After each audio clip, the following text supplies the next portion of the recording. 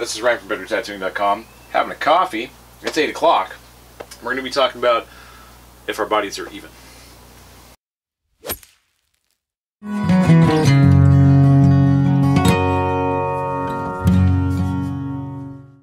Alright, now that's done, let's get back into it today. Let me grab my black marker here. Are our bodies even? No, they're not.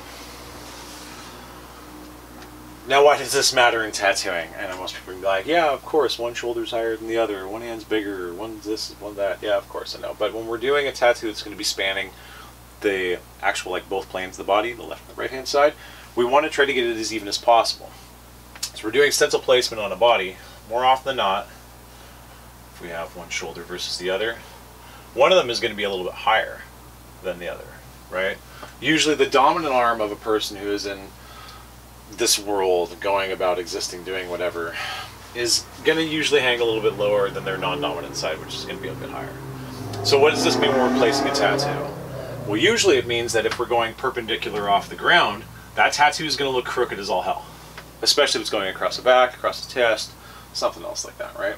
If you're trying to get something between two arms, right, on the back of the arm and they have to stay even, it's not going to look like it's even. Even though to you spatially, if you're looking at one arm versus the other, that they are even.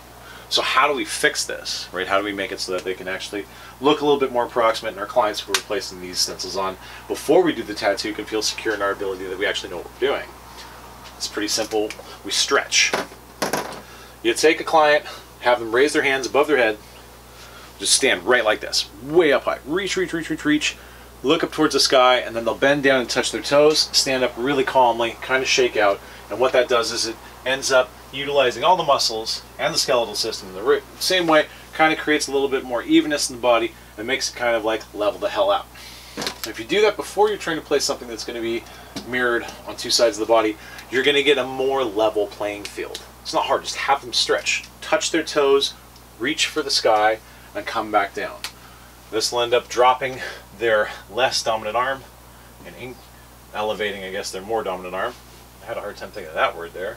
And it'll make it so that things actually appear more straight. It's not hard. You can do this with anything, especially if you're trying to think about like over under, underdeveloped muscles that maybe be on one side versus the other. Have someone flex the underdeveloped muscle versus the overdeveloped muscle. Put some blood in it before you place the tattoo stencil, right? Like think ahead. If you do that, you can guarantee that the product that the client is going to see before they give you permission to do the tattoo is going to look better. Anyways, simple short today. Are our bodies even? Nope.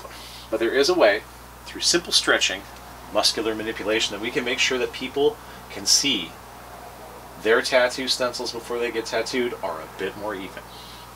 This is Ryan from BetterTattooing.com, signing off.